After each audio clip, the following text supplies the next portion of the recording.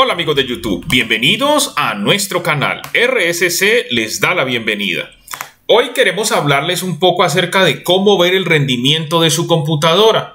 Todos queremos que cuando nuestra computadora funcione, funcione correctamente. Y hay una manera de ver cómo está funcionando el procesador, la memoria RAM, tu unidad de procesamiento gráfico y tu disco duro. Te voy a enseñar, es muy fácil.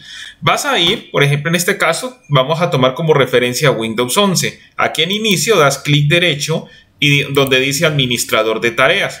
Aquí en administrador de tareas es interesante porque te va a mostrar todo lo que está funcionando pero nos interesa esta pestaña que dice rendimiento. Entonces aquí en rendimiento encontramos el rendimiento de nuestro procesador que está en un 14 más o menos, 14%.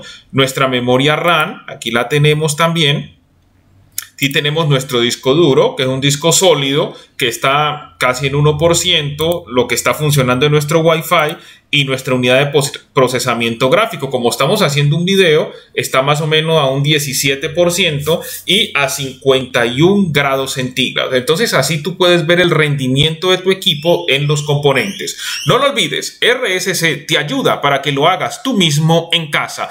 Recuerda, en nuestros videos cuando aparezca el logo de RSC, simplemente tócalo y suscríbete a nuestro canal. También te aparecerán etiquetas las cuales puedes tocar y encontrar más contenido.